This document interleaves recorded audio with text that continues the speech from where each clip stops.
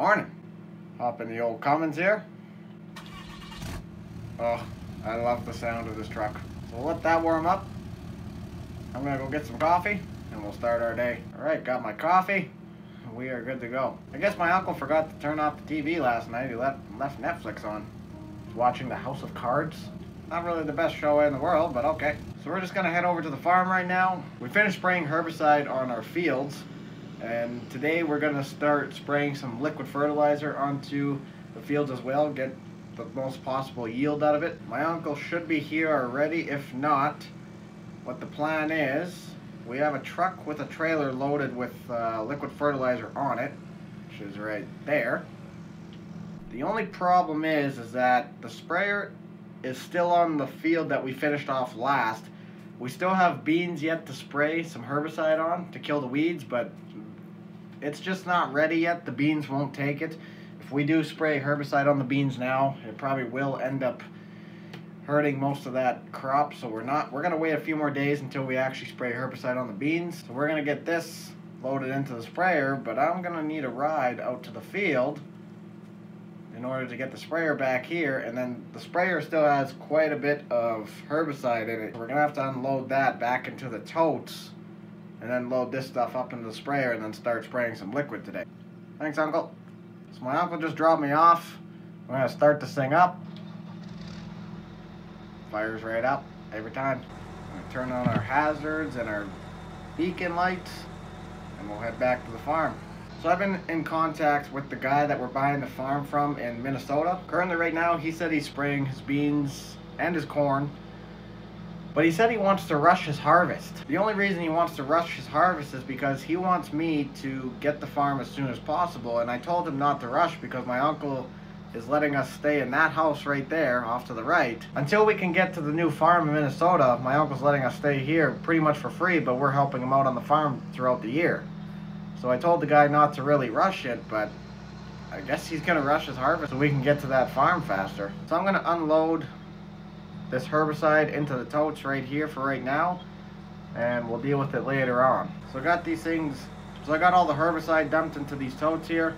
Kind of left it a mess, but we're going to end up needing this anyways when we go back to spraying beans in the next few days here. So Uncle said he's going to spray the liquid fertilizer on for today. I got some other things around the farm to do. But before we go back to the farm, we're going to get some drone footage for you guys.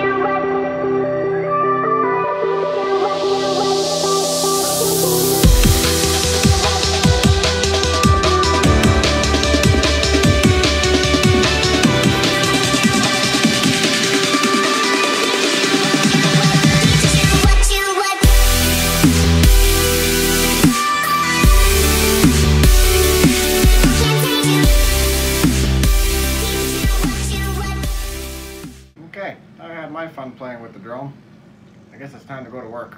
We got a lot of time to prep for harvest yet, but my uncle wants me to set up one of the augers on the far bins towards the west side of the farm. We're gonna get one of these augers set up on these bins, and then we're gonna pull in both combines into the shop and make sure they're ready to go and get the headers ready to go, make sure everything's turning, make sure everything's greased, so then we know the combines are good to go out into the field. So we got this 4640 here, and we also got a 4440, but I think he said he wants the 4640 hooked up to the auger first.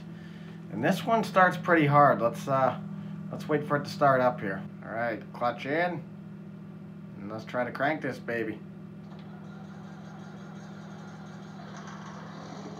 Oh, there she goes. Oof.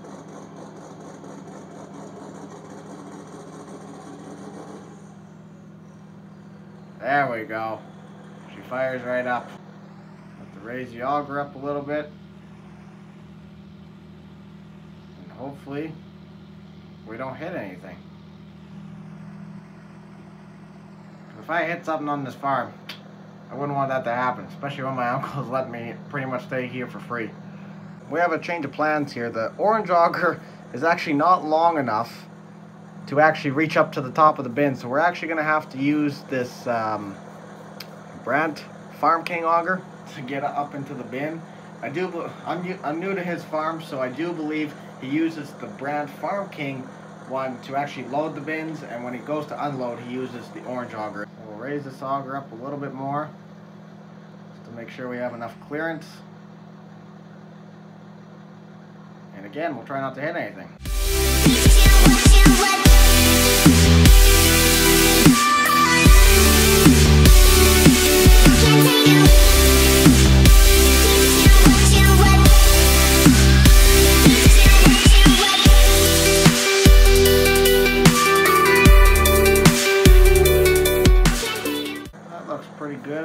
So myself. Alright, so we got that done for right now. Now we're gonna go to the shop. We're gonna open the door. We're gonna unhook both combine headers and hopefully both combines will fit into the shop. I'm not too sure, but we're about to find out. Question is, are we gonna fit into the shop? I'm not too sure. Hopefully. Looks pretty tight. I think we can do it. If we go real slow. Should just fit. Oh yeah, we got lots of room. We'll pull it up here as far as possible without hitting anything. Can we fit two John Deere combines into the shop? Of course we can. Lots of room. Okay, maybe not. It's not a big deal. The door can stay open anyways. It's a nice day out. I want to enjoy the weather. I don't want to be stuck in a shop all day. And it won't take too long anyways to get these things fully serviced, greased, make sure everything is set, ready to go. So I'm going to get back to you guys once I have these things greased, and then we'll go pick up the headers, and we'll make sure everything's turning, and the combine should be ready to go. So we got both headers attached. I'm going to unfold this beast.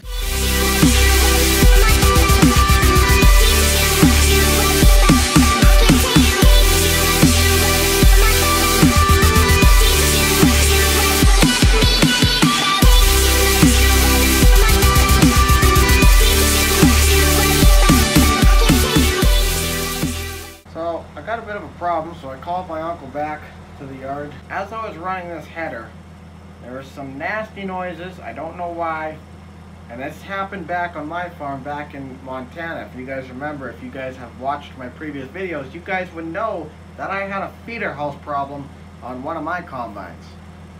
But I'm really hoping that this is not the problem. So I'm get my uncle here to start the header up and I'm gonna try to listen and see if there's anything going on inside or where this loud banging is coming from.